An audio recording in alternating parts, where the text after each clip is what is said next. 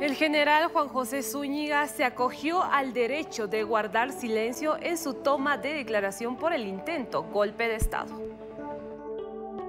Después de que el excomandante general del ejército, el general Juan José Zúñiga, intentara realizar un golpe de Estado, fue aprendido y en esta jornada se tomó su declaración informativa. Eh, como le digo, por el momento se acogió al derecho de silencio, entonces tenemos que esperar nomás. La defensa legal se encuentra a la espera de la imputación formal de su defendido, ya que fue acusado inicialmente por dos delitos. Él ahorita se encuentra todavía detenido, estamos esperando la decisión del fiscal, supongo que en las próximas horas ya sacará la imputación formal, estamos a la espera de eso.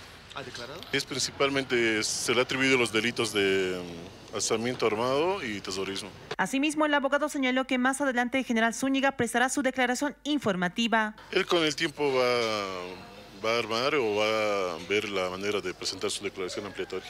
Como le digo, una vez que él realice su declaración ampliatoria, ahí van a poder tomar mayores casos. Y el vicealmirante Juan Arnés, excomandante general de la Armada, también se abstuvo a declarar por el intento del caso de golpe de Estado.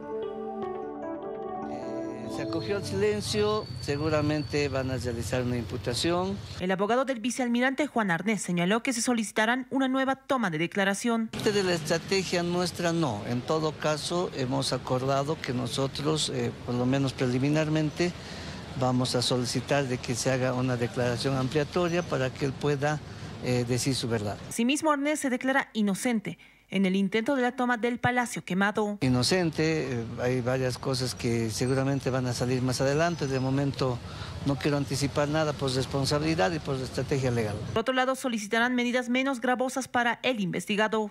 Nosotros vamos a pedir medidas sustitutivas, ¿no? inclusive una domiciliaria en su caso. Seguramente la Fiscalía va a pedir para todos detención, pero hay que establecer que en materia penal la conducta de cada una de las personas debe ser individualizada en razón a las actividades que han realizado en la comisión del supuesto delito.